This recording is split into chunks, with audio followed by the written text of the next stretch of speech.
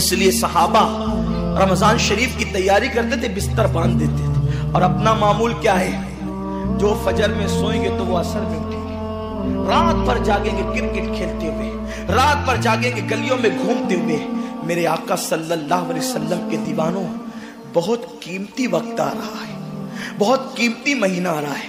ये वो महीना है जो जहन्नमियों को जन्नती बनाता है। आकाए करीम सल्लल्लाहु अलैहि वसल्लम फरमाते हैं, हर इफ्तार के वक्त अल्लाह साठ हज़ार ऐसे जहन्नमियों को जहन्नम से आज़ाद करके जन्नती बनाता है, जिनका जहन्नमी होना वाजिब हो गया था। और एक मकाम पे फरमाते पाँच लाख जहन्नमियों को हर इफ्तार के वक्त जहन्नम से आज़ाद किया जाता है। और इसी पे बस नहीं हुजूर फरमाते, जब शबे जुमा आती है माए रमज़ान की जुमेरात का सूरज गुरूब होता है तो जुमा का सूरज गुरूब होने से पहले पहले तक हर हर सेकंड में पाँच पाँच लाख जहन्नमियों को जहन्नम से आज़ाद किया जाता है।